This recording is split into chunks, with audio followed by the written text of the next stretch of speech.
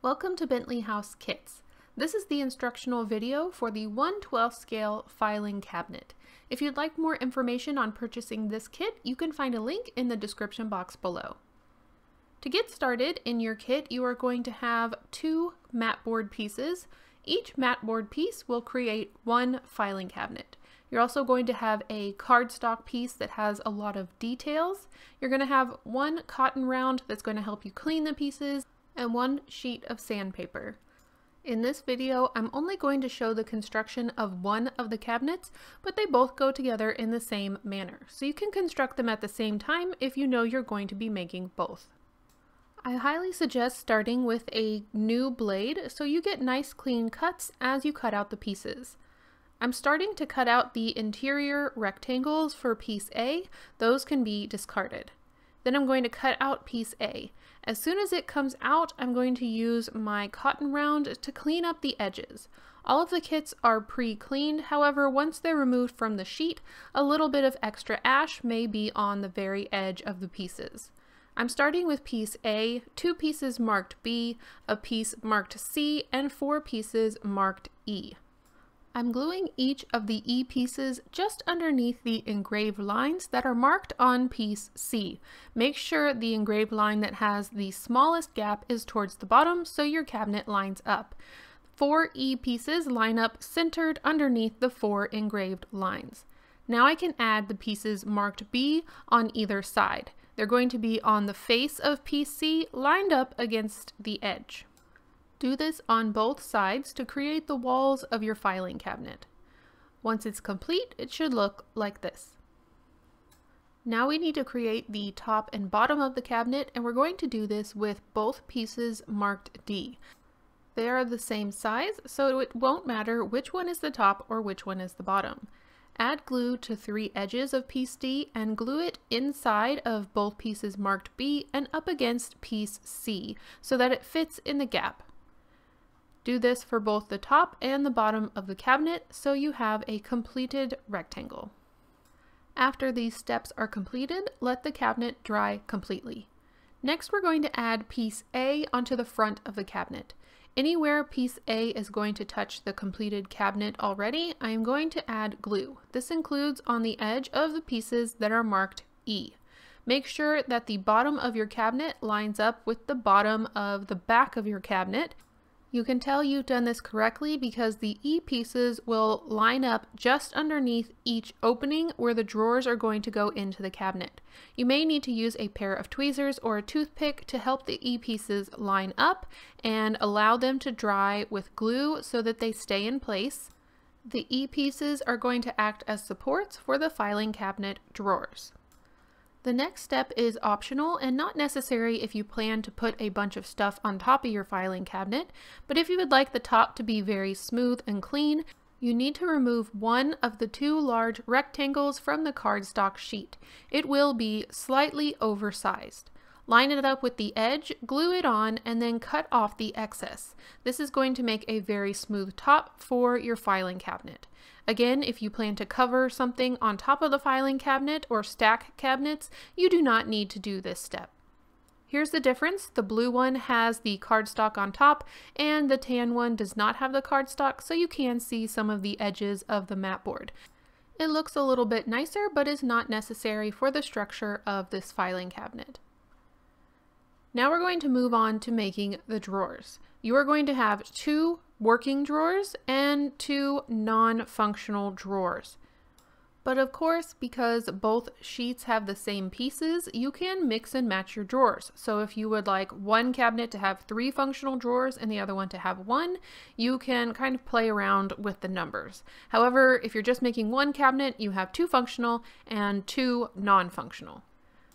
To begin the drawer construction, I'm going to cut out two pieces marked H and four pieces marked J.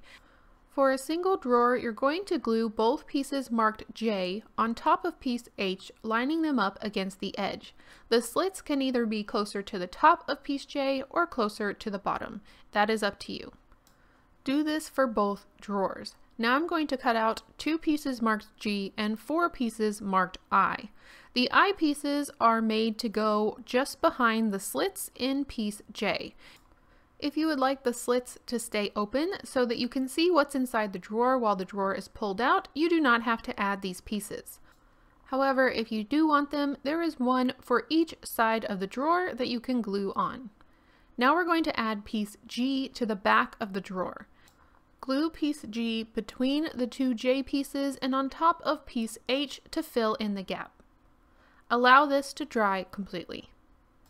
In this kit, I have included some files on the cardstock sheet. If you would like the files to fit into the drawer, you may have to cut down the pieces that are marked I so that they're a little bit thinner. To do this, you can cut a slit into the mat board and just remove one of the very thin pieces of paper on the top of the mat board so that the I pieces are thinner and you have more room for the files. Or you can just omit the I pieces as I stated before. Now we're going to remove all four F pieces, which are going to be the front of the drawers. Two of them are going to go on the drawer construction, and two of them are going to be directly applied to the cabinet. If you would prefer a slightly curved edge to your drawer front, go ahead and sand it now before applying it to the drawer. To apply it, I'm going to add glue all around the front of my drawer and then center it onto my drawer front you will be able to see about a 16th inch all the way around the drawer to make sure that it is centered. Do this for both drawers. Allow them to dry 100% completely before doing the next step. Now I'm going to place in my working drawers on the areas where I want my drawers to be able to come out of the filing cabinet. The drawers will be a snug fit, but if you happen to have any issues with getting them into the drawer slots, you can slightly sand the edges of the drawer openings. Once you're happy with their fit and location, you want to lay your filing cabinet flat on your work surface. This will allow you to line up your drawer fronts and make sure they are sitting correctly amongst the working drawers. Once you're happy with the layout, you can go ahead and glue on the fake drawer fronts, and I highly suggest you remove the working drawers after gluing them on to make sure none of them accidentally get glued together. This is a good point in the project to go ahead and sand any sides that you have overlapping. Be very careful when sanding mat board, sand in the direction away from the paper so you don't rip any paper off of the face of the mat board. Now we're going to remove two long skinny rectangles from the cardstock detail sheet. These are going to wrap around the top and the bottom of the cabinet. I start by gluing it to the back of the cabinet and then slowly wrapping and adding glue as I go. This is going to create a nice finish to the top and the bottom of the filing cabinet. Here is how it should look once both are applied. This is a good point to go ahead and paint the base coat onto your filing cabinet. Go ahead and remove your working drawers so you don't accidentally paint them in place. I'm going to be using acrylic paint and make sure that I'm not adding any extra moisture. So for my first coat, I'm just using plain acrylic craft paint straight out of the bottle. You can add some thinner watered down coats of paint after the first coat is applied. I'm also going to be using some chalk pastels to give this a little bit more depth and a little bit more age. You may also want to use some kind of shiny top coat to give it that metallic look. Now I'm going to remove all the pieces marked handles from one section of my cardstock sheet. Remember this is enough pieces for both cabinets, so I'm only going to be removing one set of handles. Each handle is going to be made with two sets of these very thin rectangles. I'm gluing one on top of the other to create a double thickness. In the end, I will end up with four double thick handles. You will notice that each handle has two engraved lines. These lines are going to help you bend the handles into a staple-like shape, which is going to be applied to the cabinet. Here you can see how the handle started and how it looks once it is glued together and bent. Before removing the nameplates out of the nameplate section, I am going to very carefully write some letters so that it looks like a filing cabinet that is organized alphabetically.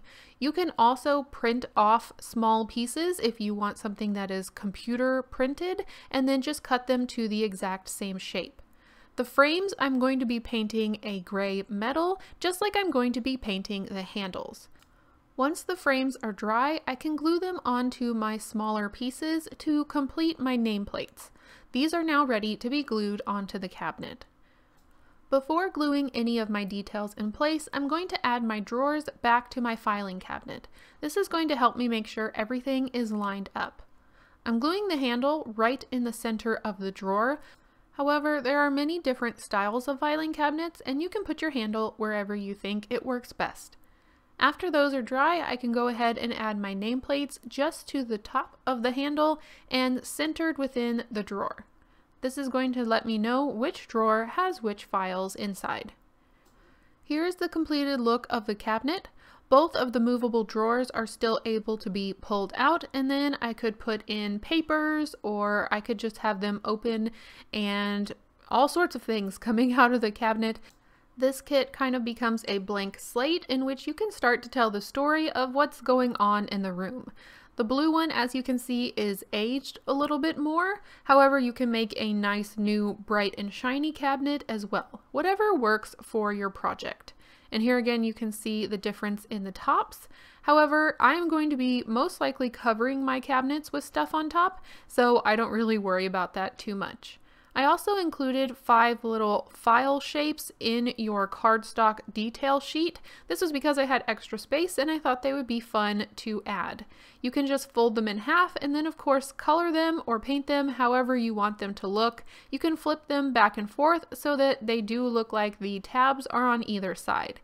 They could look really cute just inside the front of your cabinet, and of course if you need more, you can use the cardstock as a stencil to cut some more for yourself. And here's how they look inside the drawer. Remember, you will have to adjust the I pieces on the inside if you want to make sure you have enough room to put them inside.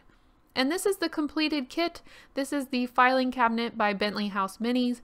If you are interested in purchasing this kit, make sure to look in the description box below for all the purchasing details. Thank you for watching. Bye.